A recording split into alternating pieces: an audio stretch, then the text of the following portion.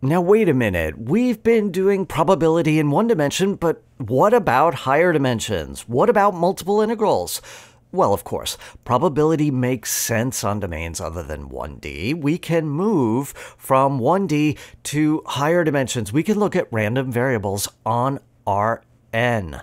Consider a random variable, capital X, in Rn. This is characterized by a probability density, rho a scalar valued function on Rn that, just like in 1D, has to be non negative and has to have total mass equal to 1. That is, if I integrate rho of x dx with respect to the volume element on Rn, I get a net mass of 1. So if I want to know what's the probability that a randomly chosen vector in Rn lies in some subset A, then I integrate the probability element dp, which is rho of x dx, over that subset A. If I integrate rho of x dx over A, I get the probability that a randomly chosen point lies in this subset A. So if you just pick a single point and say, what are the odds that I'm at this point? Well, it's zero because the integral over a point is nothing, even if the density is really high. But if you choose some subset A, integrate, figure out the probability mass of that subset, that tells you the probability that a randomly chosen point lies in that. And as you look at larger and larger subsets, you get larger and larger probabilities. Okay, now all of that is the, the basics of computing probability based on a probability density. What about expectation?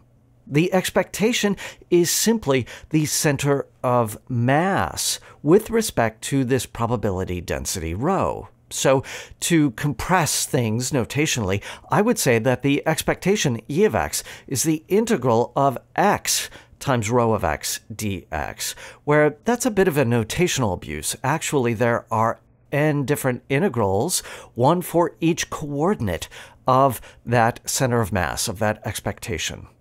The variance, however, is computed by exactly the same formula that we're used to. v of x is the integral of the distance squared to the expectation with respect to probability mass times, times rho of x dx. And the standard deviation, as before, is the square root of the variance.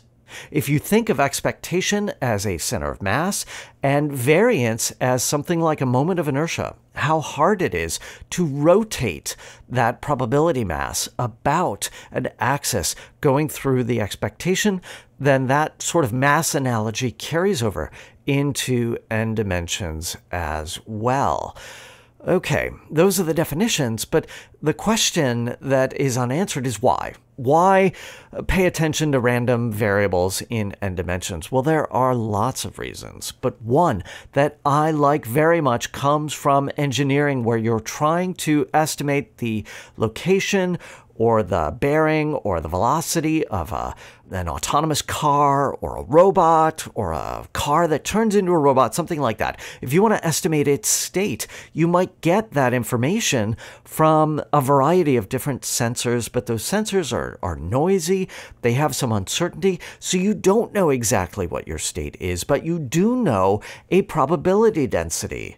And you might be able to characterize the uncertainty of your estimate in terms of the variance. You might be able to improve the uncertainty by getting more sensor readings. So instead of saying, oh, I know exactly that I'm here, you say, oh, I know a probability density, and my expectation tells me that I'm here with uh, highest probability, but that really I have to argue in terms of subsets. And maybe I have a very spread out probability density. There's a lot of uncertainty. Maybe I have a really tight probability density. Ooh, I really know where I'm at. Or maybe I have some unusual situation where I've got different sensor readings that are giving me conflicting information. I might be over here, or I might be over here a little bit, and I'm not sure.